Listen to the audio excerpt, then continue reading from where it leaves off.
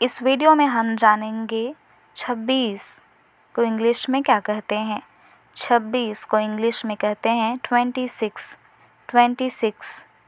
इसे हम एग्ज़ाम्पल से समझते हैं। Example I am having twenty six यहाँ ट्वेंटी सिक्स का मतलब है छब्बीस। उदाहरण, मेरे पास छब्बीस आम हैं। इसी के साथ इस वीडियो में बस इतना ही।